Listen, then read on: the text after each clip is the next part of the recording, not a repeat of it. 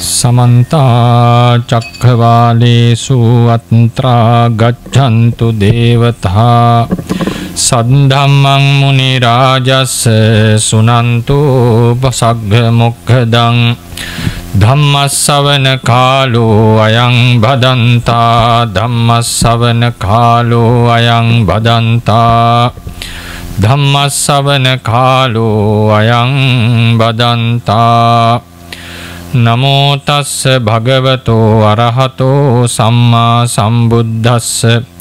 නමෝ තස්ස භගවතෝ අරහතෝ සම්මා සම්බුද්දස්ස. නමෝ තස්ස භගවතෝ අරහතෝ සම්මා සම්බුද්දස්ස. යදාහවේ පාතු භවන්ති ධම්මා ආතාපිනෝ ජායතෝ බ්‍රාහ්මනස්ස. අතස්ස කංකා වපයන්ති සබ්බායතෝ පජානාති සහේතු ධම්මං යදාහවේ පාතු භවන්ති ධම්මාතාපිනෝ ජායතෝ බ්‍රාහ්මනස්ස අතස්ස කංකා වපයන්ති සබ්බායතෝ khයං පච්චයානං අවේදී යදාහවේ පාතු භවන්ති ධම්මා ආතාපිනෝ ජායතෝ බ්‍රාහ්මනස්ස විධූපයං තින්ටතිමාරසේනං සුරියෝව ඕභාසය මන්තලික්කන්ති මහා සංඝරත්නයෙන් අවසරයි. ශ්‍රද්ධාවන්ත පින්වතුනි තුලෝකාග්‍ර වූ භාග්‍යවත් අරිහත් සම්මා සම්බුද්ධ දස බලධාරී සර්වඥ රාජෝත්තමයාණන් වහන්සේ බුද්ධත්වයට පත්වීමෙන් අනතුරුව ප්‍රත්‍යාකාරය මෙනෙහි කොට දේශනා කරන්නට යෙදුණු උදාන ගාථා තමයි මාතෘකා වශයෙන් මම තබන්නට යෙදුනේ. මේ ගාථා වලින් ධර්මයේ දේශනා කරන්නට බලාපොරොත්තු වන්නේ අද දවසේ තියෙන පූජාවේ විශේෂත්වය තමයි ප ဋ ාණ ධර්මයට ප ဋ ාණ ධර්මය අවබෝධ කළ ඥාණයට පූජා පැවැත්වීම විශේෂයෙන්ම අපවත් වී වදාළ රාමඤ්ඤ මහානිකායේ හිටපු අනුනායක දුරන්දර ත්‍රිපිටක වාගීශ්වරාචාර්ය අප මහෝපාද්‍ය නාවිනේ අරිය ධම්මාභිධාන මහානායක ස්වාමින් වහන්සේට පුණ්‍යානුමෝදනා කිරීමටත් උන්වහන්සේ අතිශයින්ම රුචිකර කළ මේ ප ဋ ාණයට පූජා සත්කාර කොට පුණ්‍යානුමෝදනා කිරීමක් තමයි අපේ සෑම දිනාගෙන් බලාපොරොත්තු. ඉතින් එහෙනම් මේ සියලු පින්කම් වලින් අපේ ලොකු ස්වාමින් වහන්සේට මේ සියලු පුණ්‍ය පින්කම් පාරමී පඬුරක් වේවා බුද්ධත්වයේ පිණසම හේතු වේවා සංවිධානය කළ ස්වාමින් වහන්සේලා දායක පින්වත් හැම දිනාටමත් ශ්‍රවණය කරන හැම දිනාටමත් විවට්ට ගාමිනී කුසලයක් වේවා කියන හිත ඇති කරගෙන අපි ධර්ම ශ්‍රවණයට සූදානම් වෙමු. පින්වතුනි ප ဋ ාණය කියන දේශනාවේ දැක්වෙන්නේ හේතුඵලය. හේතුඵලය පිළිබඳ විස්තර සවිස්තර දේශනාව තමයි ප ဋ ාහන දේශනාව. සූවිසි ප්‍රත්‍යයයි සූවිසි ප ဋ ාණය කියන්නේ දෙකක්. නමුත් කෙටියෙන් තේරුම් ගන්න නානා හේතු නිසා නානා ඵල ඇති වෙන ආකාරයත් ඒ ඒ ඵලයන් ඒ හේතුන් වලට බලපාන ආකාරයත් උපකාර වෙන ආකාරයත් දැක්වෙන දේශනාව තමයි ප ဋ ාහන දේශනාව. ප ဋ ාහන දේශනාවේ දැක්වෙන්නේ ද්විතීක ප්‍රත්‍ය ශක්තිය. ප්‍රත්‍ය ශක්තිය කියලා කියන්නේ යම් කිසි හේතුවක් නිසා ඵලයක් හටගන්නවා නම් ඒ හේතුවට ඵලයක් ඇති කිරීමට යම් හැකියාවක් බලයක් තිබිය යුතුයි. ඒ බලයට හැකියාවට කියනවා ප්‍රත්‍ය ශක්තිය නැත්තම් හේතු ශක්තිය නැත්තම් කාරණ ශක්තිය. කාරණය හේතුව ප්‍රත්‍ය ආරම්මණය සමුදය මේ ආදී නම් වලින් අපි හඳුන්වනවා හේතුවට නමක්. හේතුවක් කියලා කියන්නේ නොතිබිච්ච දෙයක් හට ගැනීමට හටගත්ත ජයක પરම්පරා වශයෙන් පැවතීමට එහෙමත් ඒ වගේම හටගත්ත දෙයක් වර්ධනය වීමට උපකාර වන ධර්මවලට කියනවා හේතුව කියලා. නැත්තම් ප්‍රත්‍යය කියලා. එතකොට හේතුඵල න්‍යායේදී හේතුව තියෙනවා. ඒ නිසා හටගන්න උපකාර ලබන දේ තියෙනවා ඵලය තියෙනවා. හේතුවට උපකා ඵලයට උපකාර කළ හැකි බවට ශක්තියට කියනවා හේතු ශක්තිය ප්‍රත්‍ය ශක්තිය කියලා. ප්‍රත්‍ය ශක්ති වර්ග දෙකක් තියෙනවා. මං සියල්ලෙන් හේතු ඵල ආදී විස්තර කරන්න යන්නේ මම බලාපොරොත්තු වෙනවා බොහෝ සෙයින් ප ဋ ාහන ධර්මයේ ශ්‍රවණය කරපු අය ඉන්නේ. ඉතින් නැවත නැවත එකම තේරුම් ගන්නවට වඩා අපි අතිරේක යමක් තේරුම් ගන්න සුදුසුයි. විශේෂයෙන්ම අපේ කල්යාණ මිත්‍ර දෙනියායි උපසම ස්වාමීන් වහන්සේගෙන් ධර්මයේ බොහෝ සෙයින් අහපු අය නිසා ඉතින් මේ කරුණු ගොඩාක් යම් පමණ කොට හෝ දැනගෙන ඉන්නවා කියන තැනින් තමයි මම දේශනාව ආරම්භ කරන්නේ. ප්‍රත්‍ය ශක්ති වර්ග දෙකක් තියෙනවා. මූලික ප්‍රත්‍ය ශක්තිය, ද්විතීක ප්‍රත්‍ය ශක්තිය කියලා. හේතුව විසින් හේතුවට ඵලයට උපකාර කළ හැකි බව හැකියාව ඒ සඳහා තියෙන ශක්්‍යතාවය තමයි ප්‍රත්‍ය ශක්තිය කියලා කියන්නේ. මූලික ප්‍රත්‍ය ශක්තිය පින්වතුනි පරමාර්ථ ධර්මයෙහි ලක්ෂණයයි. පරමාර්ථ ධර්මයක් කියලා කියන්නේ විද්‍යමාන වන ගති ස්වභාවයක්. ඒ ගති ස්වභාවයකට තියෙනවා ස්වභාව ලක්ෂණයක්. ඒ ස්වභාව ලක්ෂණය එය එයම තමයි මූලික ප්‍රත්‍ය ශක්තිය. ඒකට කියනවා මුඛ්‍ය ප්‍රත්‍ය ශක්තිය කියලා. මේ මුඛ්‍ය ප්‍රත්‍ය ශක්තිය අමුතුවෙන් ශක්තියක් ලෙස දක්වන්නට අවශ්‍ය නැහැ. ඒකට කියනවා පරමාර්ථ ධර්මය කියලා. ඒ පරමාර්ථ ධර්මයේ මුල් කරගෙන දක්වපු හේතුඵල දේශනාවක් තියෙනවා. ඒකට කියනවා පටිච්ච සමුප්පාදය කියලා. පටිච්ච සමුප්පාදය දක්වන්නේ මූලික ප්‍රත්‍ය ශක්තිය මුල් කරගෙන. අවිද්‍යාව නිසා, සංස්කාර සංස්කාර නිසා, විඥාන ආදී ලෙසට. ද්විතීක ප්‍රත්‍ය ශක්තිය තමයි ඒ ඒ පරමාර්ථ ධර්මයේ සතුව තියෙන අතිරේක හැකියාවන් ටික. ඒ හැකියාවන් තමයි හේතු ප්‍රත්‍ය ආරම්මන ප්‍රත්‍ය අධිපති ප්‍රත්‍ය කියන වචන වලින් හඳුන්වන්නේ. හේතු හුත්වා පච්චයෝ හේතුපච්චයෝ හේතු භාවයෙන් උපකාරක වෙන දේ හේතු ප්‍රත්‍යයයි. හේතුව වී උපකාරක වෙන දේ හේතු ප්‍රත්‍යයයි. දැන් උදාහරණයක් ලෝභ දෝෂ මෝහවල තියෙන ලක්ෂණය තමයි ලෝභයේ ඇලෙන බව. ලුබ්බන ලක්ෂණය. ඇලෙනවා ධර්මයේහි. ඇලෙනවා කියලා කියන්නේ ඒට කැමති වෙනවා අතහරින්නට අකමැති වෙනවා. ලෝභය විස්තර කරන්නේ එහෙමයි. ඡන්දෙත් කැමැත්තක් තියෙනවනේ. නමුත් ලෝභයේ තියෙනවා කැමැත්තක් ඡන්දයෙන් වෙන්වන්නේ ඒ අරමුණෙන් වෙන් වෙනකොට අපි අකමැති. අතහරින්නට කැමති නැහැ. මේක තමයි ලෝභයේ තියෙන මූලික ලක්ෂණය. තමයි මූලික ප්‍රත්‍ය ශක්තිය. ඒ තියෙන ද්විතීක ප්‍රත්‍ය ශක්තිය තමයි තමන් සමග සංප්‍රයුක්ත ධර්ම අරමුණෙහි මනාකොට පිහිටවීමට ඇති බලය. ඒක සිදු කරන්නේ අරමුණ තදින් ගැනීම තුළ. තදින් ගන්න බව ලෝභෙහි තියෙන ද්විතීක ආරම්මන ප්‍රතීක ප්‍රත්‍ය ශක්තිය. එහෙමත් නැත්නම් අනිත් ධර්ම අරමුණෙහි මනාකොට පිහිටවන බව ලෝභෙහි තියෙන ද්විතීක ප්‍රත්‍ය ශක්තිය. මේ ගැන ලොකු විස්තරයකටමයි යන්නේ නැහැ.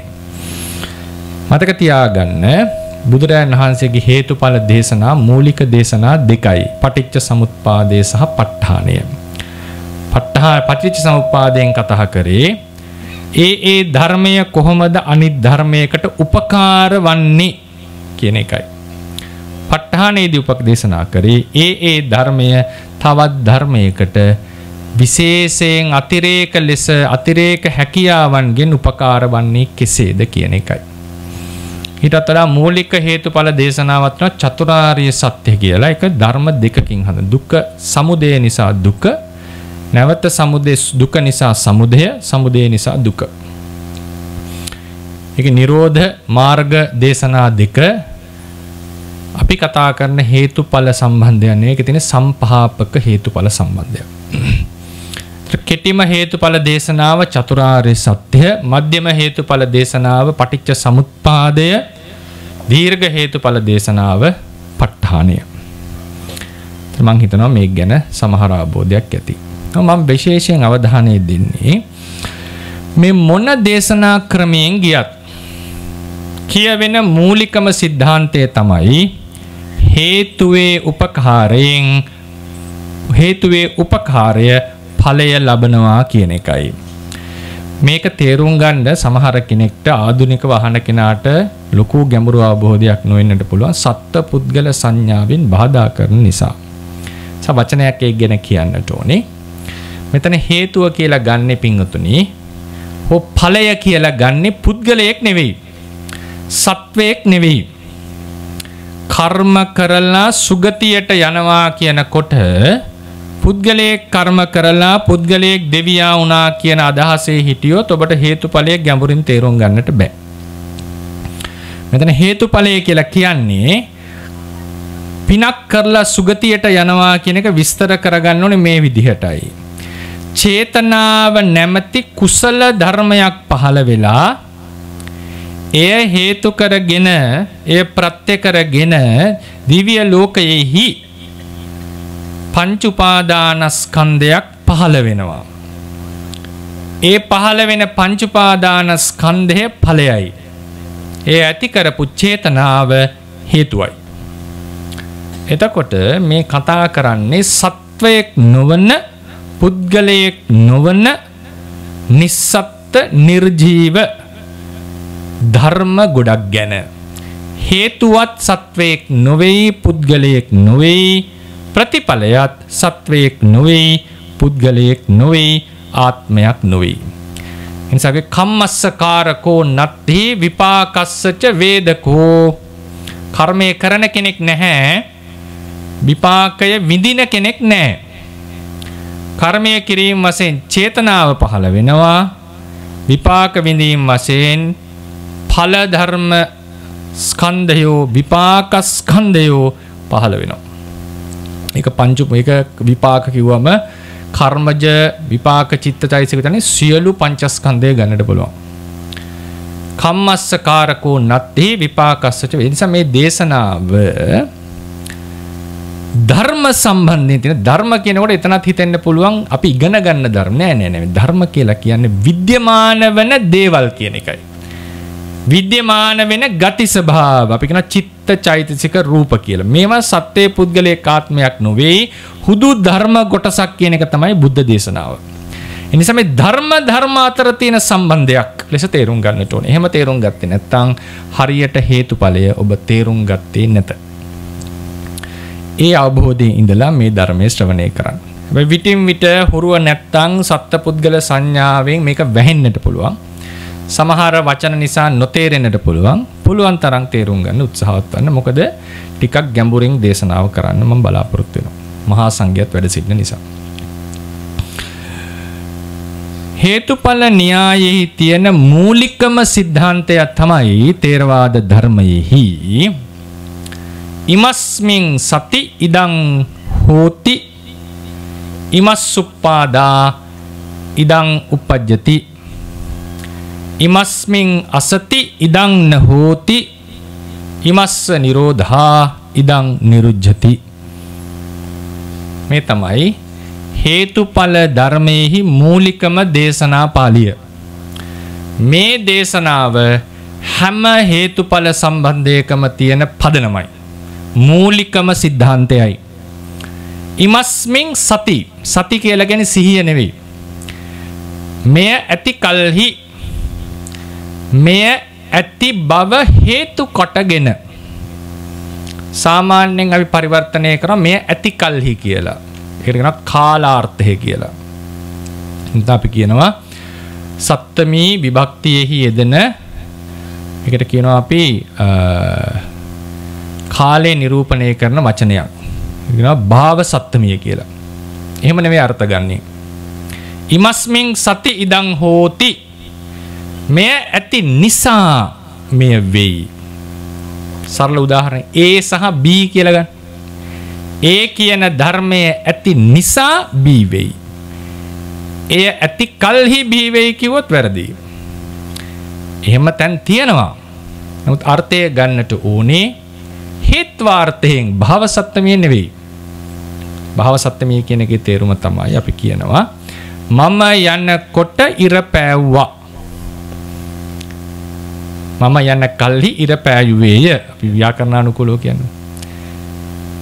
මගේ ගමන සිදුවෙනකොට තව සිද්ධියක් වුණා නේ. මගේ ගමනෙන් කොයි වෙලාවදිර පෑව්වේ මම යන කොල්හි. මම යන කල්හි දොර ඇරි විවෘත්ත වුණා. දොර විවෘතුනේ කොයික මම යන කල්ලි. යම් කිසි ක්‍රියාවත් තව ක්‍රියාවකින් හැඳින්වීමට කියනවා භව ලක්ෂණය කියලා. ඉවස්මින් සති ඉදං හෝති කියනකොට භව ලක්ෂණයෙන් ගන්නෑ. මෙය ඇතිකල්හි මේ වේ නෙවෙයි. එහෙම දේශනා පාළි තියෙනවා. එහෙම දේශනා පාළි. ධනය ධනේ අධීයමානේ දාලිද්ධං වේපුල්ලං ගච්ඡති. ධනය නොදෙන කල්හි දිලිඳු භව වැඩි වුණා කියලා කියනවා. මිනිස්සුන්ට ධනය නොලැබෙන කල්හි දිලිඳු බව වැඩ නොදෙන කල් නැත්නම් ඉතින් මිනිස්සුන්ට ධනය ලැබෙන්නේ නැතිකොට දිලිඳු බව වැඩි වුණා. ගන්නට ඕනේ ධනය නොදීම හේතු කොටගෙන දිලිඳුකම වැඩි වුණා. ඉමස්මින් අසති ඉදං හෝති කියලා කියන්නේ මෙය ඇති නිසා මෙය වෙයි. අවිද්‍යාව ඇති කල්හි සංස්කාර තිබුණා නෙවෙයි. සංස් අවිද්‍යාව ඇති නිසා සංස්කාර වෙයි. ඇති කල්ලි කියලා ගත්තමත් ඒකේ අර්ථය ගන්නට පුළුවන්. බැරිකමක් නෑ. නියම අර්ථය හේත්වාර්ථයෙන් ඉමස්මින් සති ඉදං හෝති. සති කියන ඇති කල්හි ඇති නිසා සමාවෙන්. ඇති නිසා. ඉමස් සුප්පාදා ඉදං උපජ්ජති. මෙහි ඉපදීම නිසා මේ උපදී. ඒගේ ඉපදීම නිසා බී උපදී. ඉමස්මින් අසති ඉදන්න හෝති. මෙහි නැති බව හේතු කොටගෙන ඒගේ නැති බව හේතු කොටගෙන බී නොපවති හට නොගනී. ඉමස්ස නිරෝධා ඉදං නිරුද්ධති ඒ නිරුද්ධ වෙනකොට බී නිරුද්ධ වෙයි. බැලෝ බැල්මට හරිම සරල වාක්‍යයක්. මේක අතිශය ගැඹුරුයි. අතිශය ගැඹුරුයි. මේක තේරුම් මේක සරලයි කියලා කියන්න ගිය ආනන්ද ස්වාමීන් වහන්සේ බුදුහාමුදුරන්ට. හොඳටම කිවා එහෙම කියන්නට එපා. එහෙම කියන්නට එපා. මේක තේරුම් ගන්න බැරි නිසා තමයි සත්වයා මහා සත්ත්ව ප්‍රජාවක් මේ සංසාරෙහි ගැලෙන්නේ. යමක ගැඹුරු නොගැඹුරු භව තීරණය කරනකොට තමන්ට තේරෙන නොතේරෙන භාවයෙන් ඒක පොදු සිද්ධාන්තයකට ගන්න හොඳ. මේක ජෙනරලයිස් කරන්න හොඳ නෑ. ආනන්ද ස්වාමීන් වහන්සේට මේක තේරෙන්නේ නැති. කල්ප ලක්ෂයක් පෙරම් පුරපු ඨානාන්තර පහක් ගන්න පාරමී තිබිච්ච බුදුවරයෙක්ගේ අග්‍ර උප අග්‍ර උපස්ථායක වෙන්න හිටපු පුද්ගලයාට මේක නොගැඹුරුව වැටහෙන්නට ඇති. උන්වහන්සේ බොරු කිව්වේ නෙවෙයි සර්වඥවාන් වහන්සේට මේක අත්ැඹුලක්සේ වැටහුණා. අවසාන අත්භාවය එහෙම වුණා කියලා ඒක සරලයි කියන්න ගියේ නෑ. ඇයි ඒ? යම්කිසි න්‍යායක් බහුතර සත්ත්ව ප්‍රජාවකට වැටහෙන්නේ නැතිනම් ඒක ගැඹුරුයි. Tamanට වැටුණාට හරියන්නේ නැහැ. බහුතරයකට වැට. ඒ නිසාමයි මේ සසර සත්වය සැරිසන්නේ. ඒ නිසා මේක අතිශය ගැඹුරු න්‍යායක්. කොහොමද මේක තේරුම් ගන්නේ? ඉමස්මින් සති ඉදං හෝති ඉමස්මින් අසති ඉදං නහෝති. පළවෙනි වාක්‍ය අන්වය වාක්‍යයක්. අන්වය කියලා කියන්නේ මෙය හේතු කරගෙන මෙය වේ කියන වාක්‍ය. දෙවැනි එක බියතිරේකය. ඒ කියන්නේ මෙය නැති කල්හි නැති නිසා මෙය නොවේ. අපි කියන බියතිරේකය තමයි බලවත් අන්වයට වඩා. උදාහරණයකට ඇස තියෙනකොට පේනවා. ඇස තියෙනකොට දර්ශනය වෙනවා. දැන් කෙනෙක්ට ඇහුවොත් තරකයක් ඇහැ නිසාමද පේන්නේ වෙන දෙයක් නිසා පේනව නොවේද කියලා හුත් අපි ඒක ඔප්පු කරන්නේ කොහොමද? ඇහැ ගලවන්නකෝ. එතකොට පේයිද බලන්න. ඇහැ නැතිකොට පේන්නේ ඒකෙන් ඔප්පු වෙනවා. ඇහැ තියෙනකොට පේනවා. ඇහැ නැති කල්ලි නොපෙනෙනවා නම් අනිවාර්යෙන් ඇහැ අවශ්‍යයි පෙනීම ලබන්න. නිකන් නිගේෂන් කියලා ඉංග්‍රීසියෙන්. ඉංග්‍රීසියෙන්. ඒකට බියතිරේක කියලා පාලි. බියතිරේක වාක්‍ය බලවත් අන්වයට වඩා. එනිසා පටිච්ච සමුප්පාදේ මෙය හේත් තිබෙන හේතුවෙන් මේ වේ මේ නැති නිසා මේ නොවේ කියන තේතිව. මේක බැලූ බැලමට ලේසි වගේ තේරෙනවා. මේකෙදී ඉමස්මින් සති ඉදං හෝති කියන වාක්‍ය සාමාන්‍යයෙන් අපි කියන මේ ඇති කල්හි මේ වේ කියලා එක පරිවර්තනය කරනවා ඒක එක පාර වැරදි කියන්නට බැහැ අපිටත් එහෙමයි කියවෙන්නේ සාමාන්‍යයෙන් මොකද ඒකේ යම් ඇත්තක් තියෙනවා දැන් ධනය නොදීම නිසා දිලිඳු බව හටගත්තා. ධනය නොදුණු කල්හි දිලිඳු බව හටගත්තා කොහොමද ඒකේ යම් ගැළපෙන බවක් තියෙනවනේ. එනිසා සමහර කෙනෙක්ට සිතවිල්ලක් එනවා. ඉමස්මින් සති ඉදං හෝති කියන වාක්‍යය හැටියට ඒ තියනකොට බීවේ කියන වාක්‍යයෙන් ඒ සහ බී දෙදෙනා එකම කල්ලි එක විට පැවතිය යුතුයි කියලා අදහසක් වෙනවා. පටිච්ච සමුප්පාදයේ තියෙනවා පින්වතුනි හේතුඵල න්‍යායෙහි අර්ධ තුනක් අද්ධා තුනක් අතීත භවය වර්තමාන භවය අනාගත භවය කියලා. අතීත භවයේ තිබිච්ච හේතු නිසා වර්තමාන භවයක් හටගත්තා. භවය කියනකොට කර්මය නෙවෙයි පංචස්කන්ධයන් ගන්නේ. ඒ භවය නිසා නැවත කර්ම ක්ලේශ හටගත්තා ඒ නිසා නැවත භවයක් හටගත්තා. එතකොට මේ දේශනා ක්‍රමේදී සමහර හේතුන් තියෙන්නේ කලින් භවයේ.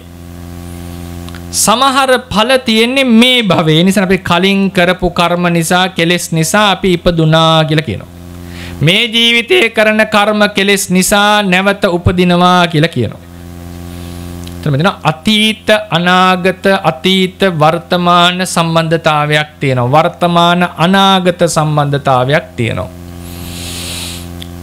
සමහර කෙනෙට හිතෙන්නට පුළුවන් ඉමස්මින් සති ඉදං හෝති කියන වාක්‍ය නිසා බුද්ධ දේශනාවෙහි පටිච්ච සමුප්පහාදයේ එක මොහොතක එක ෂණයක ඒ මොහොතේ සිද්ධ වෙන ක්‍රියාවලියක් මිසක් මේකේ භව තුනක කතාවක් නෑ කියලා කියවෙන්නට හිතෙන්නට පුළුවන්. ඒ කියන්නේ හේතුව නිසා ඵලය හේතුව ඇතිකල්ලි ඵලය හටගත යුතුයි. හේතුව අතකල්ලි ඵලය හටගෙන හට නොහට ගැනීම නොහැකි විය යුතුයි. හට නොගැනීම නොහැකි විට අනිවාර්යෙන් හටගත යුතුයි. හේතුව නිසා ඵලය කල් ගිහිල්ලා හටගන්නට හේතුවක් නැත කියලා අදහස් වලට එන්න පුළුවන්.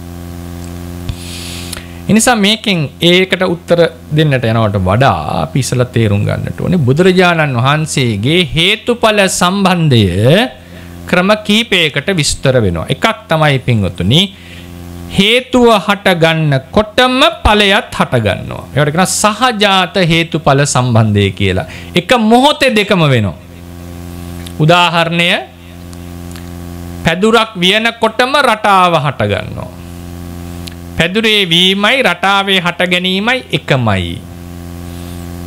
එකනෙක් කියන එක කියමනක් කියලා. නමුත් පැදුරකුත් වියනවා රටාවකුත් හටගන්න දෙකම තියෙනවනේ. කෙනෙක් අහපුවා පැදුරයි රටාවයි එකමද කියලා. ඒක ඒක ගැඹුරින් හිතන්න යන්න එපා. ඒ වගේ උපමාවක් මේ ගන්න. ඒ හට ගන්නකොටම බීත් හට ගන්න සහජාත හේතුඵලය. තව එකතර පුරේජාත කොලයක් හදලා ඒක උඩ චිත්‍රය අඳිනවා. චිත්‍රය ආවේ කොලයට පස්සේනේ. කොලේ ආවේ චිත්‍රයට කලින්. ඒ කලින් හටගෙන පසුව බී හට ගන්නවා. එයා පුරේජාත පුරේජාත තවත් එකක් තියෙනවා. ඒ තමයි හේතුව හටගෙන සම්පූර්ණයෙන් නැති වෙනවා. දැන් කොලේ නැති වුන්නේ නැහනේ කොලේ තිබුණානේ. තියෙන කොලේ උඩනේ චිත්‍රය ඇන්දේ අපි. තව හේතුඵලයක් තියෙනවා. හේතුව හැටගෙන නිරුද්ධ වෙනවා. නිරුද්ධ වුණාට පස්සේ කාලෙකින් ඵලය හට ගන්නවා. ඒ තව හේතුඵල සම්බන්ධයක්. දෙකම එකට සිද්ධ වෙනවා කලින් එක්කෙනෙක් හටගෙන යා ඉන්නකොට වෙන කෙනෙක්ට උපකාර කරනවා තව එකක් තමයි හේතුව හටගෙන නිරුද්ධ වෙනවා කාලෙකින් ඵලයක් හටගන්නවා තවත් හේතුඵල සම්බන්ධයක් තියෙනවා දෙයක් හටගෙන තියෙනවා ඕල්රෙඩි දැනටමත් පස්සේ හටගන්න දෙයකින් කලින් හටගත්ත කෙනා ශක්තිමත් කරවනවා ඒකත් හේතුඵලයක් කලින් හටගත්ත ගස්වැල් වලට වර්ෂාව වැටිලා ශක්තිමත් කරනවා වගේ. ඒවට කියන පච්චාජාත ප්‍රත්‍යවාද කියලා. එතන මතක තියාගන්න. හේතුඵල තියෙනවා. හේතුව හට ගන්නකොටම ඵලය හට ගන්නවා ඒකත් හේතුඵල න්‍යායක්. හේතුව හටගෙන කලින් හටගෙන පවතිනකොට ඵලය උපද්දවනවා. තව එකක්. ඒක නම් පුරේජාත කියලා. හේතුව හට ඵලය හටගෙන ඉවරයි. පසුව හටගන්න හේතුවෙන් ඵලය ශක්තිමත් කරයි. හේත් ඵලය ශක්තිමත් කරන එකට කියනවා පච්චාජාත කියලා. තව විශේෂ හේතුඵල සම්බන්ධයක් තියෙනවා. හටගෙන නිරුද්ධ වෙනවා හේතුව පසුව කාලෙකදී ඵලය හටගන්නවා ඔය තමයි බුදුරජාණන් වහන්සේගේ හේතුඵල සම්බන්ධතාවේ මූලික ලක්ෂණ හතර. ඊට එහැයින් තිනවා විශේෂ හේතුඵල න්‍යායවල් ප ဋ ාණේ අපි වැඩිය කතා නොකරන. අනාගතයෙහි පහළ විය හැකි හේත් ඵලයක් හේතුවක් නිසා දැම් ඵලයක් සිද්ධ වෙනවා කියලා න්‍යායක් තියෙනවා. ඒක තරම් ප්‍රසිද්ධ නෑ ධර්මය ඇතුලේ. ඒක තැන් දෙකක අපිට හමු වෙනවා. එක ආචරයවාදයක් එකක්. පශ්චිම භවික සත්වයකුට පහළ වෙන්නට નિયમિત අරිහත් මාර්ගය අනුභවයෙන් පුද්ගලයාගේ ජීවිතය ආරක්ෂා වෙනවා කියලා මතයක් තියෙනවා. තව එකක් තියෙනවා. ඒ ගොඩාක්ම කතා කරන්න අඩු එකක්. සම්පටිජ්ජන හිත පහළවීම පිණිස පංචද්වාරා වජ්ජන සිත උපදිනවා කියලා නියාමයක් තියෙනවා. ජවනය පිණිස සම්පටිච්ඡනේ උපදිනවා. අනාගතේ පහළ වෙන්නට નિયમિત ධර්මයක් පිණිස කලින් හේත් අනාගතේ පහළ වෙන ධර්මයේ හේතු කොටගෙන කලින් දටගන්න ධර්මයේ ඵලය ලෙස හඳුන්වන න්‍යායක ඒක අපි සාමාන්‍යයෙන් කතා කරන්නේ ඒ විදිහට ගත්තම න්‍යාය පහක් තියෙනවා. අනාගත ධර්මයෙන් පච්චුප්පන්නේට උපකාර වෙන හැටි. කාරම්මන ප්‍රත්‍ය වශයෙන් නෙවෙයි. ඒක ප ဋ ාණේ කතා කරලා තියෙන එකක් නෙවෙයි. ඒ නිසා ඒක අපි පැත්තකින් තිබ්බොත් ප්‍රධාන හේතුඵල හතරක්. මොකද්ද? හේතුවයි ඵලයයි එකට හට ගන්නවා. හේතුව හටගෙන තියෙනකොට ඵලය උපකා උපදවනවා. ඵලය කලින් හටගෙන පස්සේ හටගන්න දෙයකින් කලින් හටගත්ත ඵලය ශක්තිමත් කරනවා. ඒතර හේතුව පස්සේ හටගන්නේ. තව එකක් තියෙනවා. හේතුව සම්පූර්ණයෙන් හටගෙන නිරුද්ධ වෙනවා. නිරුද්ධ වුණාට පස්සේ පසු කාලයක ඵලයක් උපදවනවා. එතයි ප්‍රධාන හේතුඵල සම්බන්ධතා හතර. මේ අතුරෙන් පින්වතුනි ඉමස්මින් සති ඉදං හෝති කියන වාක්‍ය තියෙනවනේ. මෙය පවතින නිසා මෙය වේ කියලා. අපිට හිතෙන්නේ ඒ ඇති කල්හි බීවේ කියලා අදහස එනවා. ඒ අදහස ගැලපෙනවා දෙන්නම එකට හට ගන්නකොට. ඒ තියෙනකොට බී හට ගන්නවා. ඒ හටගෙන පවතිනකොට ඒ නිසා බී හට ගන්නවා. ඒකත් හරි. තුන්වෙනි එක ඒ හටගෙන බී හටගෙන පවතිනකොට පසුව හටගන්න ඒ නිසා බී ශක්තිමත් වෙනවා. ඒකටත් ඕක හරි දෙන්නම එක වෙලාවෙ තියෙනවා. නමුත් කලින් හටගෙන නිරුද්ධ වෙච්ච ධර්මය නිසා ඵලයක් හටගන්නකොට ඒක වළංගු වන්නේ නැහැ. මොකද හේතුව නිරුද්ධයි. විනාශ වෙලා නැති වෙලා පසුව තමයි ඵලය හටගන්නේ. එහෙම ඇති කල්ලිත් හේතුව නිරුද්ධයි ඵලය පසුව හට ගන්නවා. එතනදී අපි කියනවා නිරුද්ධ වෙන හේතුව යම්කිසි තැනක තැම්පත් වෙනවා නොවේ. යම්කිසි තැනක ගිහිල්ලා හැංගෙනවා නොවේ. කඩුවක් අරගෙන කොපුවට දානකොට කඩුව නැති වුණාට තාම තියෙනවනේ. පේන්නේ නැහැ. නමුත් හැංගිලා තියෙනවා. බඩුවක් අරගෙන අපි හංගනවා. එතන අපි මේක නැහැ. නමුත් ඒක යම් තැනක තියෙනවා. ඒ විදිහට බුද්ධ දේශනාවේ හැටියට යම් කිසි ධර්මයක් හටගෙන නිරුද්ධ වෙනකොට ඒක කොහෙවත් ගිහිලා හැංගෙනව නෙවෙයි. ඒක කොහෙවත් ගිහිලා රැඳෙනවා නොවේ. ඒක කොහෙවත් ගිහිලා තියනවා නොවේ. එහෙම දේශනාවක් නෑ. එහෙම දේශනා ක්‍රමයක් තිබිලා තිනවා සර්වස්ත්‍රිවාදී කියන නිකායේ. හටගෙන නිරුද්ධ වෙන ධර්මය අවස්ථා විපරිණාමයකට පත් වෙලා තව ක්‍රමයකට තියෙනවා. ඔවුන්ගේ හැටියට අතීත අනාගත වර්තමාන තුන් කාලයේම ඇත. ඒ නිසා සර්ව අස්ති සර්වස්ති කියන වාදය එනවා. ඒක ක්‍රම හතරකට ආචාර්යවරු ඒ කාලේ විස්තර කරලා තියෙනවා. අපේ ධර්මයේ හැටියට එහෙම නෑ. මේක සම්පූර්ණ නිරුද්ධ වෙනවා. නැති වෙනවා හැඟ වෙනවා නෙබේ. හැබැයි සමහර ධර්ම නිරුද්ධ වෙනකොට යම් කිසි ගති ස්වභාවයක් సంతානෙහි ඉතිරි වෙනවා. ඒකට කියනවා ප්‍රත්‍ය ශක්තිය කියලා.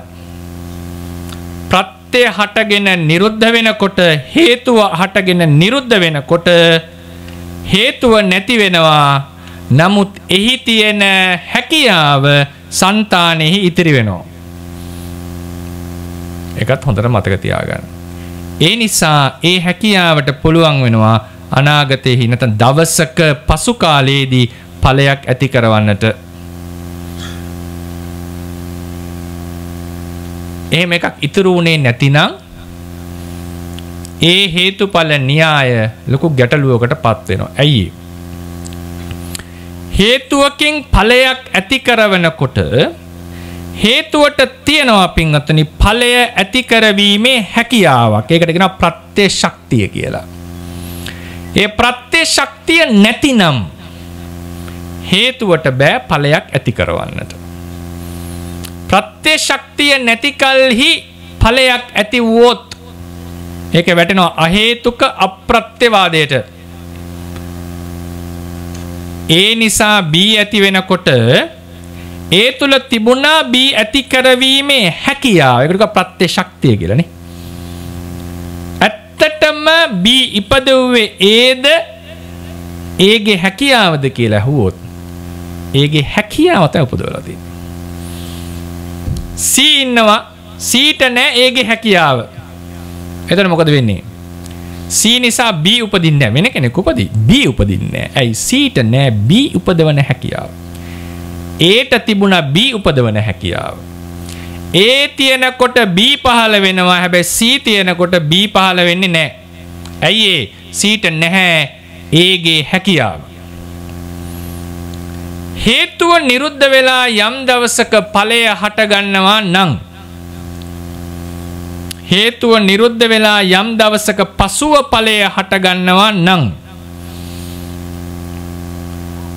එයින් ගම්‍ය වෙනවා හේතුව තුළ තිබුණු හේතු ශක්තිය ප්‍රත්‍ය ශක්තිය ඉතිරි වෙලා තිබුණා කියන එක. හේතුව නිරුද්ධ වෙනකොට ප්‍රත්‍ය ශක්තිය සමග සර්ව සම්පූර්ණය නිරුද්ධ වුණා නං. පසුව ඵලය හටගන්න කොට ඒ හටගෙන තියෙන්නේ අහේතුකව අප්‍රත්‍යව.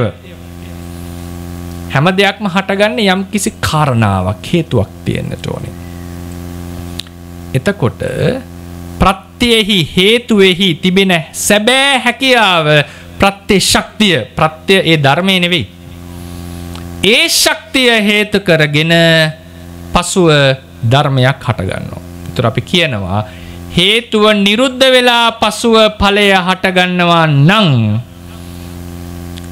ඒ හේතුවේ ශක්තිය సంతානය තුල ඉතිරිව පැවතිය යුතුයි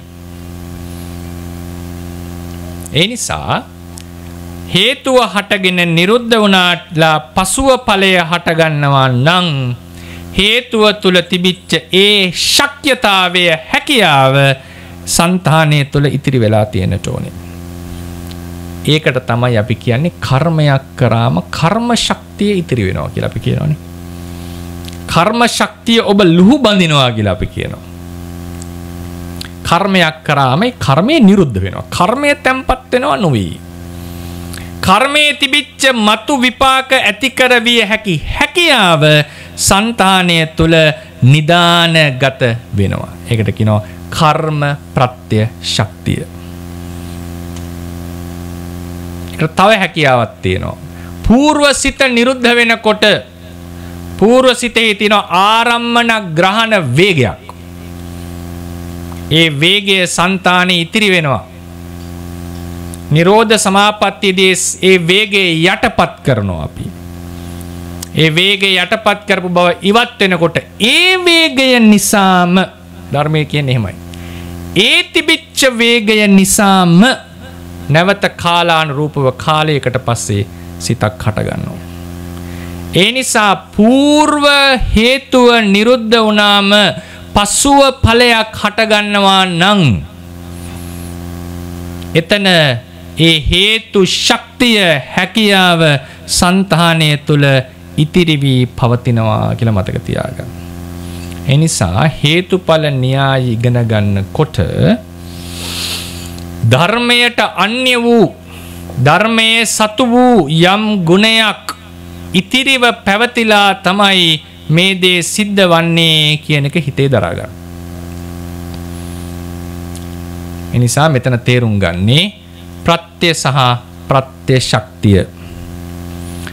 ඒක එසේ කඩන්න නැතුව අපිට දේශනාව හම්බ වෙනවා. කොහොමද? කර්මය හටගෙන නිරුද්ධ වෙනවා. ඒ නිරුද්ධ වූ කර්මය නිසා පසුව ඵලයක් හටගන්නවා. දැන් බලන්න මේ න්‍යාය මේක ටිකක් ගැඹුරු වෙන්නට පුළුවන් දේශනාව. විටින් විටට එහෙම ගැඹුරු දේශනත් අහන්නට ඕනේ අපි. ඉමස්මින් සති ඉදං හෝති මෙය තිබීම හේතු කරගෙන ඒ තිබීම හේතු කරගෙන බීවේ කියලා අපි කියනවා. ඒ හේතු කොටගෙන බීවේ. ତොර හේතුවයි ඵලයයි එකටම හට ගන්නවා නම් එතකොට අපිට නෝ හරි ඒ තියෙනකොට B හටගත්තා.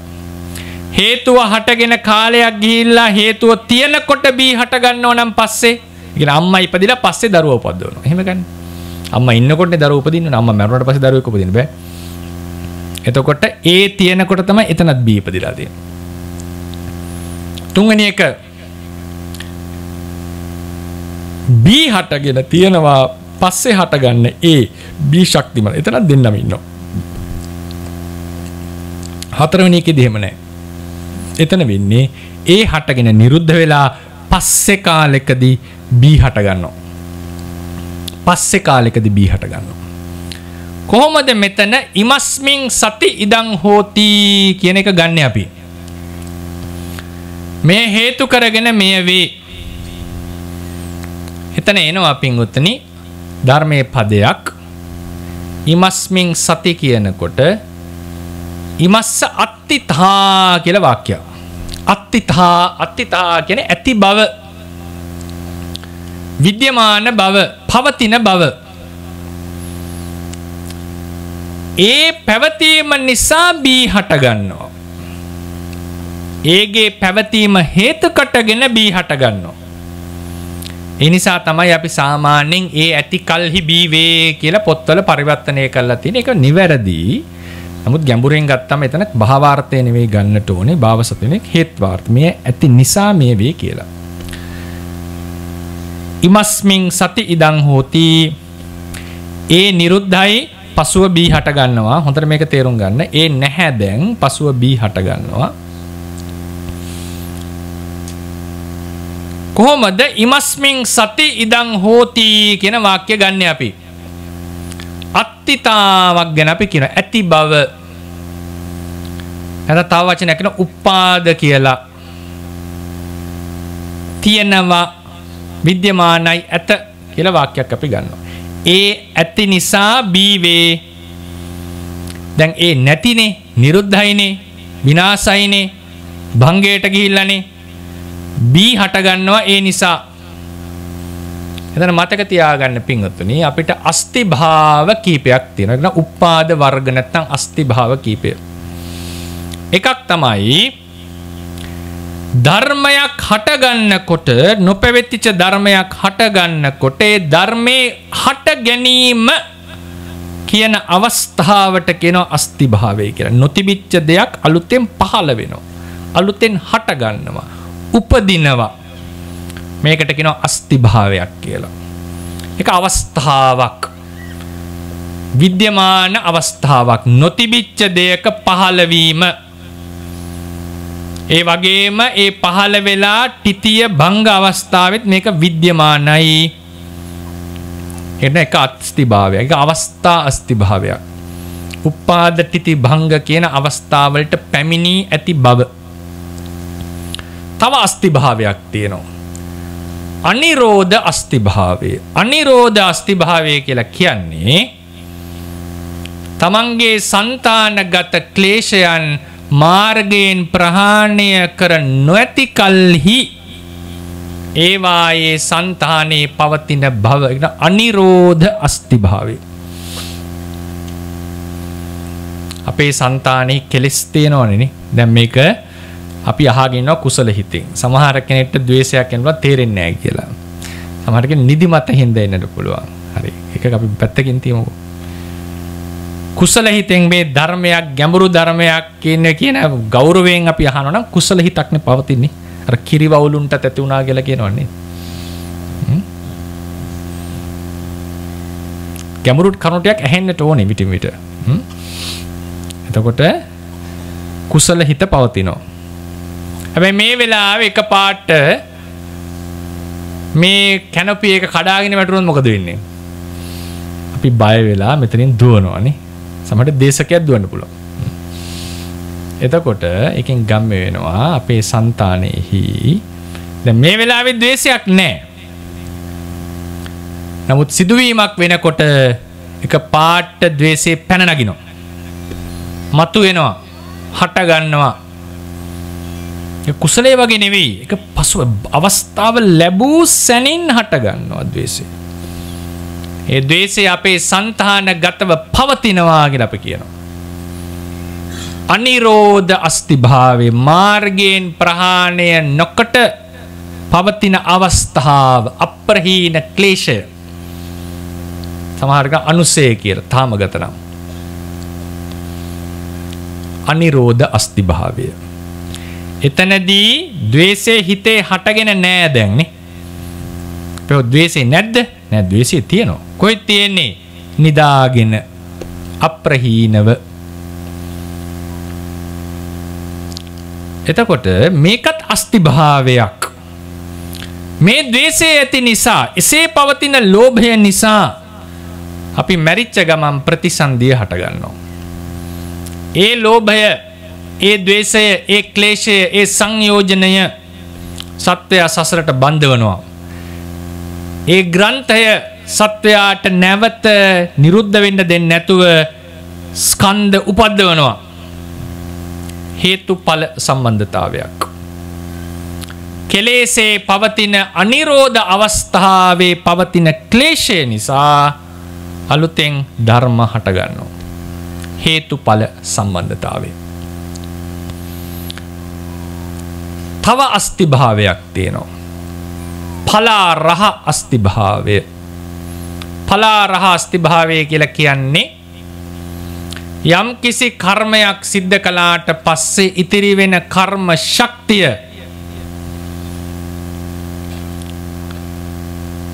කරුණු දෙකක් තියෙනකොට ඵල උපදවන්නට පුළුවන්. එසේ පවතින කර්ම ශක්තිය අපි කියනවා ඇත කියලා. පලා රහ අස්තිභාවය කියලා කියන්නේ කර්මයක් කරාම අපි තුළ කර්ම ශක්තියක් තියෙනවා. හරියට අලු යට ගිනි වගේ.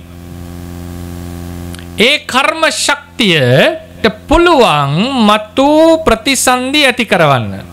මත්තු විපාක ඇති කරවන්න. විශේෂයෙන් ප්‍රතිසන්දිය භවයක් ඇති කරවන්න පුළුවන්. හැබැයි ඒක ඇති කරවන්නට කරුණු දෙකක් තියෙනට ඕනේ. එකත් තමයි කෙලෙස් ප්‍රහීන නොවී තිබිය යුතුයි.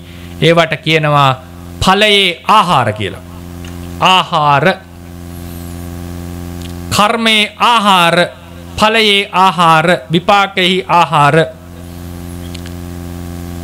ආහාර නම් වූ කෙලෙස් දුරු නොවී පවතින තාකල් අපි සැස්කරපු කර්ම ශක්තිය ඇතයයි සැලකිය යුතුයි එකන පලා රහ පල ගෙනදීමට හැකි අස්තිභාවයක් තියෙන.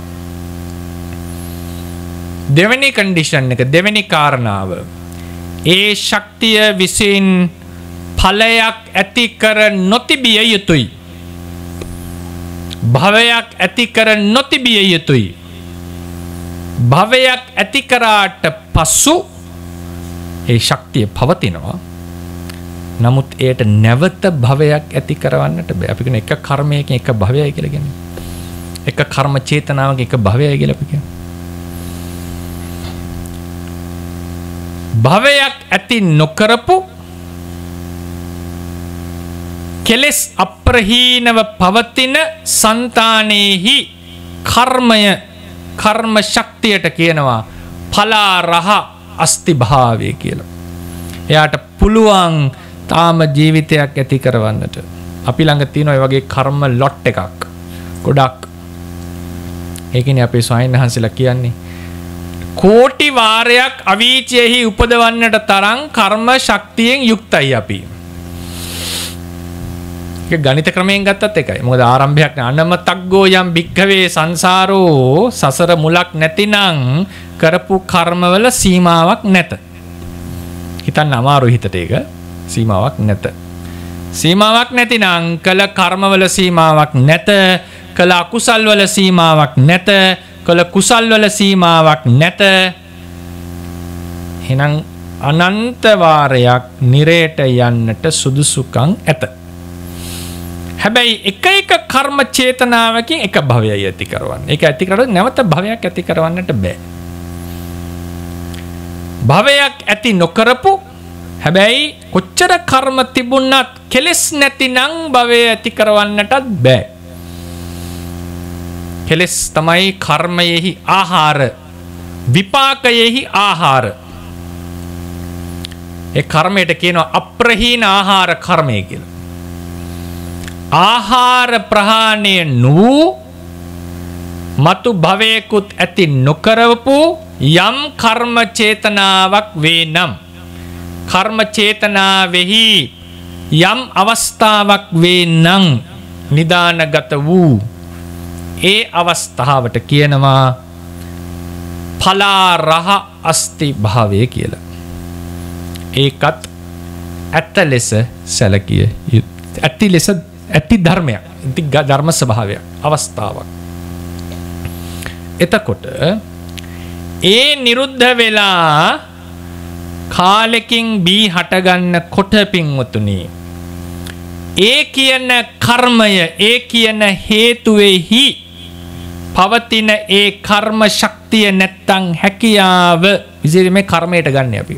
අනිත් ඒවට විශේෂෙන් අපි සලකන්නේ මොකද ඒ අප්‍රධානයි. කර්මයයි ක්ලේශයයි තමයි භවයට මුල් වෙන්නේ. අනිත් සියලු හේතුඵල කතා කරාට එක මේ දෙකෙන් විතරක් අපිට වැඩේ කරන්න පුළුවන් ඕන්න. ඒ නිසා කර්මය රැස් කරාට පසු කර්ම ශක්තිය సంతානෙහි පවතිනවා නම් ඒ කර්ම ශක්තිය ඒ පවතින අවස්ථාවට අපි කියනවා පලා රහ අස්තිභාවය ඒ අස්තිභාවය හේතු කරගෙන විපාකයක් හටගන්න තිබෙනවා ඉමස්මින් සති ඉදං හෝති පුරාණයේ කරපු කර්මය පවතින පලාරහ අස්තිභාවය හේතුකටගෙන විපාකය නැමති ඵලය හටගන්නවා. ඉමස්මින් සති ඉදං හෝති. ඉමස්සුප්පාදා ඉදං උප්පජ්ජති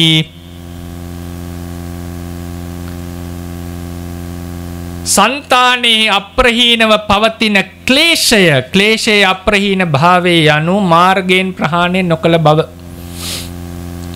එසේ පවතින ක්ලේශය හේතු කරගෙන ක්ලේලෙස් පවතිනවා නං ප්‍රතිසන්ධිය හටගන ඉමස්මින් සති ඉදං හෝති ඉමස්සුප්පාදා ඉදං උපපජ්ජති ඒ නිසා මතකතියාගන්න ඉමස්මින් සති ඉදං හෝති කියන වාක්‍යයෙන් කියවෙන්නේ හේතුවයි ඵලයයි එක ළඟ තියෙන්න ඕනේ හේතුව ඇති කල්හි ඒක විද්‍යමාන කල්හි ධර්මයක් ලෙසම ඵලය පවතිනවා හටගන්නවා කියන එක නුයි.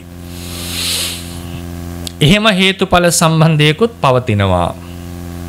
හැබැයි හේතුව අප්‍රහීන අනිරෝධ භාවයෙන් පවතිනවා නං අනිරෝධ කැන නිරුද්ධ නොවූ ලෙස පවතිනවා නං. එකල්හිද ඵලය හටගන්නට පුළුවන්. හේතුව තවමත් ඵලයක් ඇති නොකර ජීවිතයක් ඇති නොකර කර්මයන්ගේ උපකාරයත් ලැබ පවතිනවා නං එකල්හිත් ඵලය හටගන්නට පුළුවන්. ඒ නිසා ඉමස්මින් සති ඉදං හෝති ඉමස් උප්පාදා ඉදං උපජ්ජති කියලා ගන්නේ ඔය න්‍යාය. ඉමස්ස ඉමස්මින් අසති ඉදං නහෝති ඉමස්ස නිරෝධා ඉදං නිරුජ්ජති මේ හේතුව ඒ හටගත්තේ නැතිනං ඒ හටගත්තේ නැතිකල් නැති විට ඒ නොමැති විට බී හටගන්නේ නැත. ඒක තමයි බුද්ධ දේශනාව විඤ්ඥානස්මින් අසති නාමරූපං නහෝති. ආනන්දය විඤ්ඥානයක් පහළ වුණේ නැති නං මේ නාමරූප ටික කෙසේ පවතින්නද හටගන්නද ඒ නැත්තං බීනෑ. සහජාතවත් නෑ පස්සෙත් නෑ. ඉමස්ස නිරෝධා ඉමස්මින් අසති ඉදංන හෝති ඉමස්ස නිරෝධා ඉදං නිරුද්ධති. ඒ වගේම අප්‍රහීන ක්ලේශය මාර්ගයෙන් නිරෝධයට ප්‍රාප්ත කළ කල්හි සමුච්චේදව ප්‍රහාණය කළ කල්හි ඒ ක්ලේශය නිරුද්ධයි එක අච්චන්ත නිරෝධයක් පරිපූර්ණ නිරෝධයක්. ක්ෂණික නිරෝධයක් නොවී. ඒ නිරෝධය වූ කල්හි ඒ නිරෝධය හේතු කටගෙන නැවත ප්‍රතිසන්ධියක් හටගන්නේ නැත. ඉමස්මින් අසති ඉදං නොහෝති. කර්මය නිරුද්ධ වෙන ක්‍රම දෙකයි.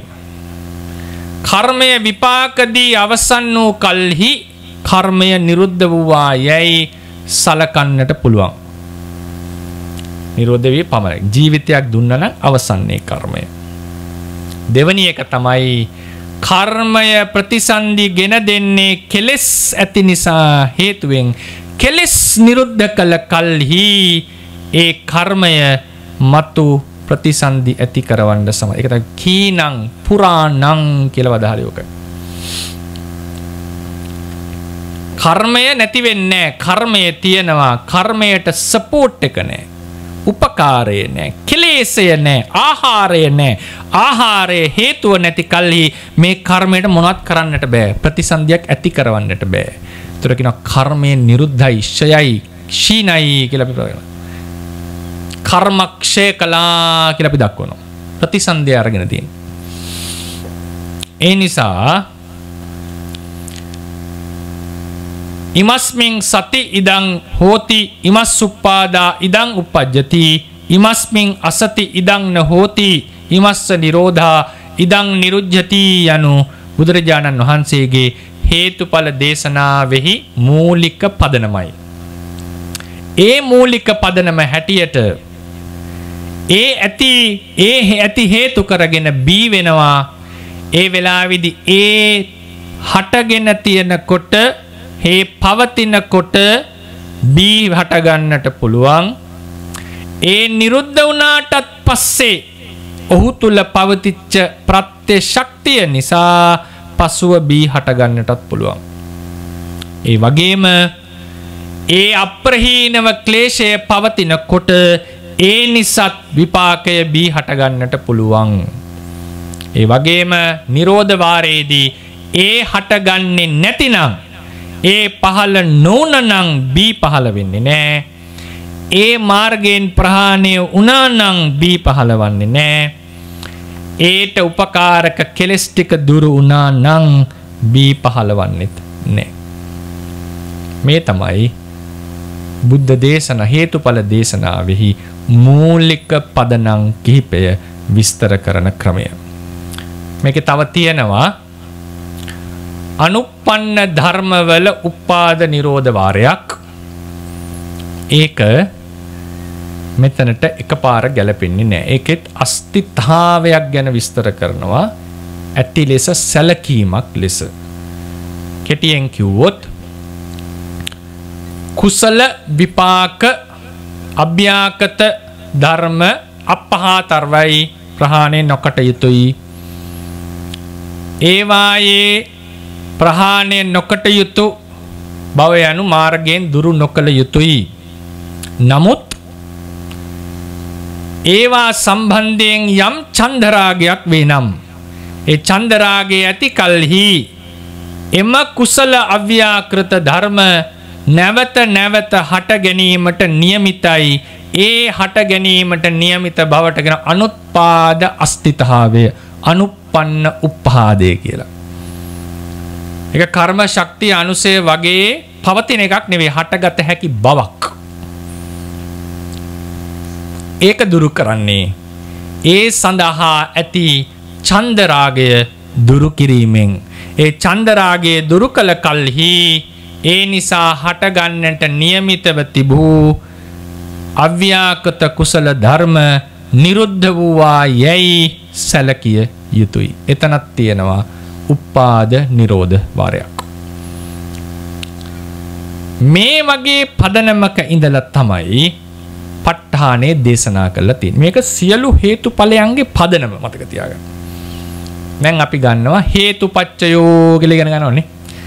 හේතු හේතු සම්පයුත්ත කානං ධම්මානං තන් සමුට්ඨානානං ච රූපානං හේතුපච්චයේන පච්චයෝ ලෝභ දෝෂ මෝහ අලෝභ දෝෂ අමෝහ කියන තුන් දෙනා තමන් හටගන්නකොට సంతානේ හටගන්නකොට ඒ හටගන්න මොහොතේදී තමන් සමග පහළ වෙන අනිත් ධර්මත් අරමුණෙහි මනාකොට පිහිටුවනවා. හරියට මුල බදලා පොළවේ අල්ලගන්නකොට කඳ අතු සියල්ලම පොළවේ පිහිටන්න වගේ අරමුණ හොඳින් ගන්නකොට අවශේෂ ධර්මත් අරමුණෙහි මනාකොට පිහිටුවන. මෙතන තියෙන්නේ හේතුත් තියෙනවා ඒ වෙලාවෙම ඵලයත් උපදවනවා පවතිනවා. මේකද ප ဋ ාණෙන හේතුඵල දේශනාව. ඒ ඒ වෙලාවේ සිද්ධ වෙනවා. තව එකක් මෙතන සිද්ධ වෙනවා. ඒක දේශනා පාළියේ නෑ. හේතුන් නිසා දැඩි ලෙස අපි අරමුණ ගත්තට පසු ඒ සම්බන්ධයෙන් නැවත නැවත නැවත සිත් පහළ වෙන්නට පටන් ගන්නවා.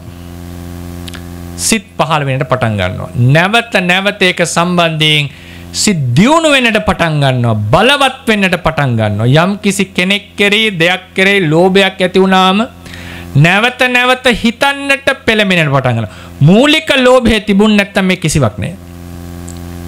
කවුරු හරි එක ද්වේෂයක් පටන් ගත්තනම් ද්වේෂ කරලා කරලා කරලා ඒක එන්න එන්න වර්ධනය වෙනවා බලවත් වෙනවා මූලික ද්වේෂයේ තිබුණා නම් මේ කිසිවක් නැහැ. මෙතනත් තියෙනවා හේතු ප්‍රත්‍ය ශක්තිය. ඒක උපනිශ්‍රය ආසේවනය යටතේත් විස්තර කරන්නට පුළුවන්. නමුත් එතන තියෙනවා හේතු ප්‍රත්‍යශ. මොකද හේතුව ඒ පසුපසු සිත්වල ඒ බලවත්ව පහළ වීමට పూర్ව හේතුන් උපකාර වී පවතිනවා. දේශනා පාලියේ එන්නේ සහජාත හේතු ප්‍රත්‍ය ශක්තිය. නමුත් හේතුව නිසා පසු පසු පහළ වෙන සිත්වලටත් හේතු ප්‍රත්‍ය ශක්තියෙන් ප්‍රත්‍ය වෙන බවට විස්තර තියෙනවා. ඊට පස්සේ අපි ගන්නවා ආරම්මන පච්චයේන පච්චයෝ අරමුණක් නැතුව සිතකට පහළ වෙන්න බෑ. අරමුණක් නැතුව සිතකට පහළ වෙන්නට බෑ. අරමුණ පැවතිය යුතුයි. අරමුණක් සිතට විද්‍යමාන විය යුතුයි. පවතින්නට ඕන අරමුණක්. අරමුණේ පැවතීම් වර්ග දෙකයි. සැබවින්ම විද්‍යමාන අරමුණේ පැවතීම. ඒකට කියන අස්තිත් අරමුණ සිතට අරමුණ පැවතීම එකට සත්ව භාවය කියලා. දැන් උදාහරණයකට නැති අරමුණක් ගැන අපි හිතනවා. නමුත් හිතට වැටහෙනවා ඒක තියෙනවා වගේ. ඒකට කියනවා සත්ව භාවය කියලා.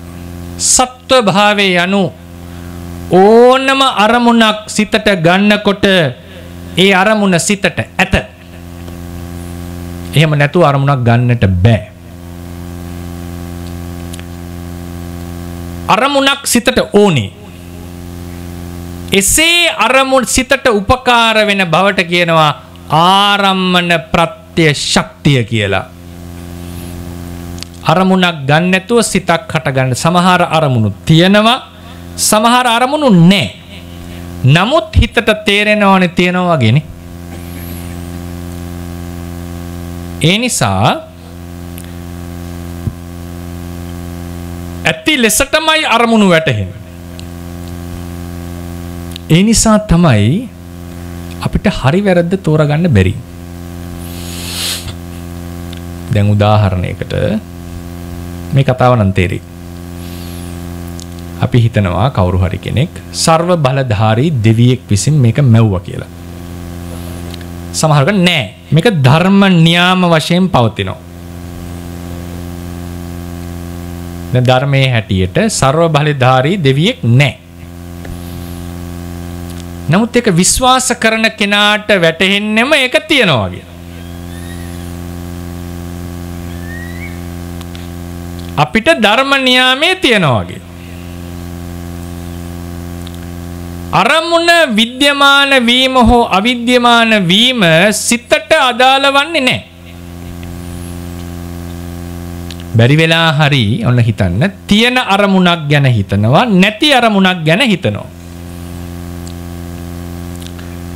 නැති අරමුණ ගැන හිතනකොට යම් කිසි දෙයක් දැනෙනවා මේක නෑ කියලා.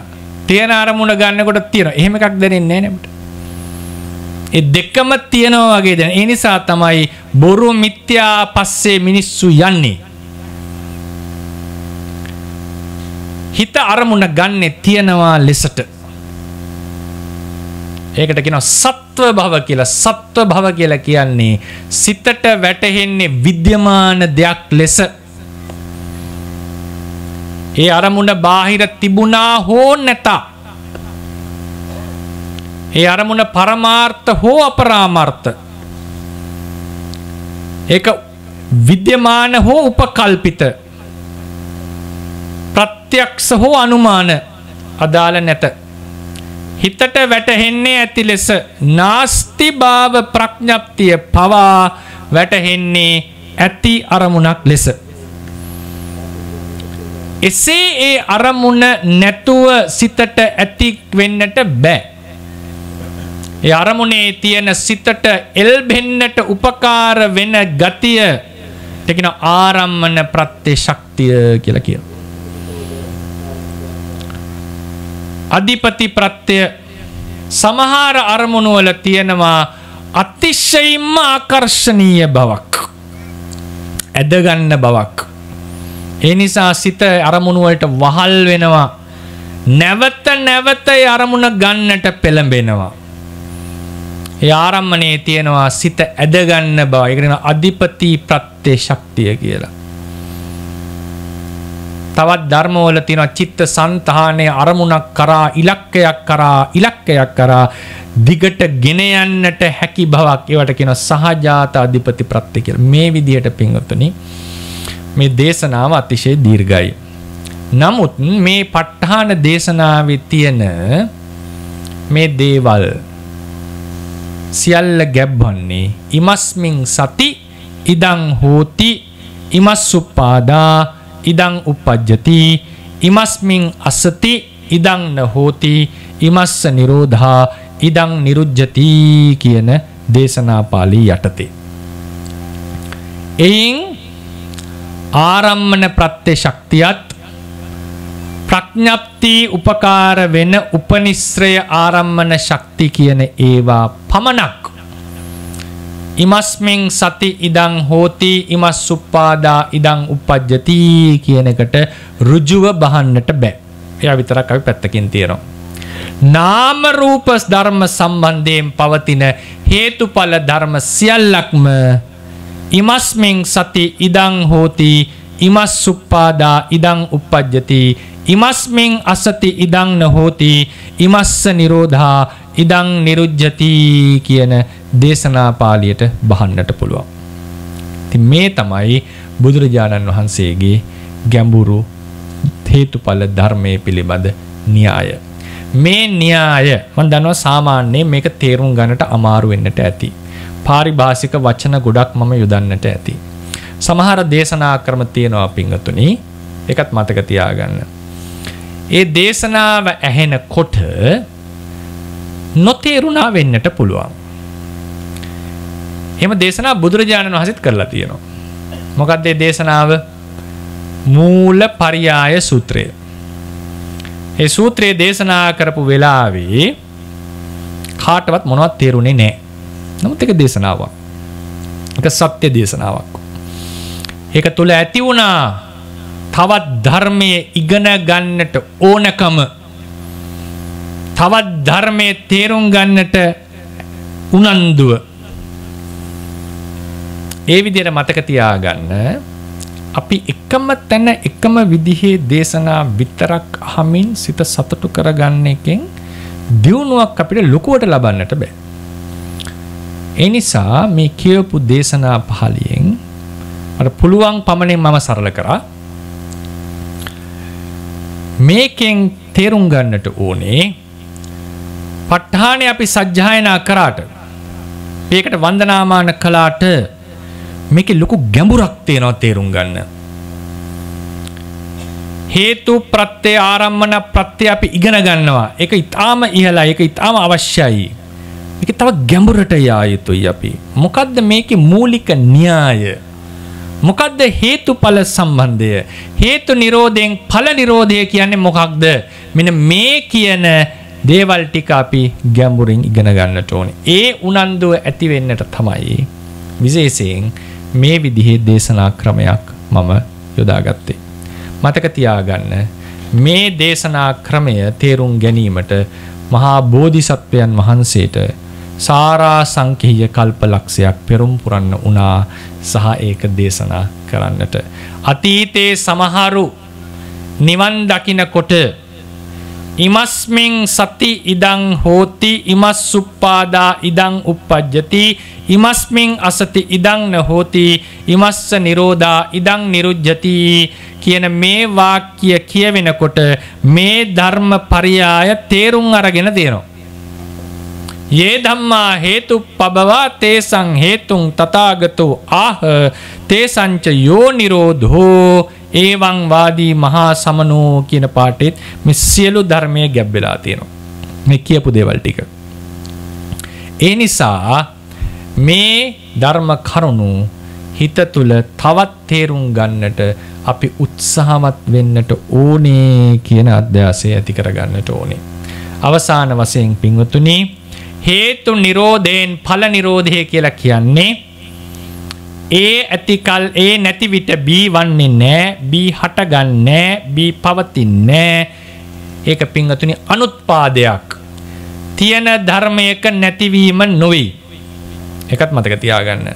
හටගෙන පවතින ධර්මයක් හේතු නැති කල්හි නැතිවෙනවා කියල එකක් නෑ. හේතු තිබුණත් නැතත් හටගත්ත ධර්මය දිරලා බිඳෙනවා එක වලක් වන්නට බෑ ඒ පැවැත්මට සහජාත හේතු උපකාරයි. නමුත් විශේෂ හේතු විකලත්වයක් නිසා ධර්මයෝ අතර මැද බිඳෙනවා කියල න්‍යායක් නෑ. හටගත්ත ධර්මය පැවතිලා බිඳෙනවා. ඉමස්මින් අසති ඉදංන හෝති කියලා කියන්නේ. හේතු නැතිවීමෙන් තියනදේ නැතිවෙන එක නොයි. ඉමස්මින් අසති ඉදං නොහෝති කියලා කියන්නේ හේතුව නැතිකල්හි අලුතෙන් ධර්මයක් හටගන්නේ නැහැ කියන එකයි. ඒකට කෙන අනුත්පාදය කියලා. නූපදීම කියලා. ඒ තමයි නිර්වාණ ධාතුව. ඒ නිසා මේ බුද්ධ දේශනාවේදී මෙය ඇතිවිට මෙය වේ මෙය නැති කල්ලි මෙය නොවේ කියලා කියන්නේ සංසාර ප්‍රවෘත්තිය සහ නිර්වාණ ධාතුවයි. තිය නිසා අපි මේ සිද්ධ කරන්න වූ සිද්ධ කලා වූ ධර්මශ්‍රවනය සිද්ධ කරන්න වූ පූජාවන් සත්කාරයන් වන්දනාවන් සියල්ලක්ම මේ ගැඹුරු ප්‍රත්‍යාකාරය අවබෝධ කිරීමටම උපකාර වේවා උපනිශ්‍රය වේවා කියන හිත අපි ඇති කරගන්නට ඕනේ. සෑම දිනාටම මෙලව දියුණුව පරලව සුගතිය කෙලවර නිවන පිණිසම හේතු උපනිශ්‍රය වේවා කියලා විශේෂයෙන් අපි ආශිර්වාද කරනවා. එසේ ප්‍රාර්ථනා පිහිටුවාගෙන දෙවියන්ට ඥාතීන්ට පින් අනුමෝදන් කරමු. ඉදං වූ ඥාතීනං හෝතු සුඛිතා හොන්තු ඥාතයෝ ඉදං වූ ඥාතීනං හෝතු සුඛිතා හොන්තු ඥාතයෝ ඉදං වූ ඥාතිනං හෝතු සුඛිතා හොන්තු ඥාතයෝ ආකාසට්ඨා ච බුම්මට්ඨා දේවානාගා මහින්దికා පුඤ්ඤන්තං අනුමෝදිත්වා චිරන් රක්කන්තු සම්බුද්ධ ශාසනං ආකාසට්ඨා ච බුම්මට්ඨා දේවානාගා මහින්దికා පුඤ්ඤන්තං අනුමෝදිත්වා චිරන් රක්කන්තු සම්බුද්ධ දේශනං ආකාසට්ටා ච බුම්මට්ටා දේවානාගා මහින්దికා පුඤ්ඤන්තං අනුමෝදිත්වා චිරං රක්කන්තු සම්බුද්ධ ශාවකං චිරං රක්කන්තු ත්වං සදා ඉමිනා පුඤ්ඤ කම්මේන මාමේ බාල සමාගමෝ සතන් සමාගමෝ හෝතු යාව නිබ්බාන පත්තියා ඉමිනා පුඤ්ඤ කම්මේන මාමේ බාල සමාගමෝ සතන් සමාගමෝ හෝතු යාව නිබ්බාන පත්තියා ඉමිනා පුඤ්ඤ කම්මේන මාමේ බාල සමාගමෝ සතන් සමාගමෝ හෝතු යාව නිබ්බාන පත්තියා ඉදම්මේ පුඤ්ඤ කම්මං ආසවක්කයා වහං හෝතු ඉදම්මේ පුඤ්ඤ කම්මං ආසවක්කයා වහං හෝතු. ඉදම්මේ පුඤ්ඤ කම්මං ආසවක්කයා වහං හෝතු. සබ්බ දුක්ඛා පමුංචතු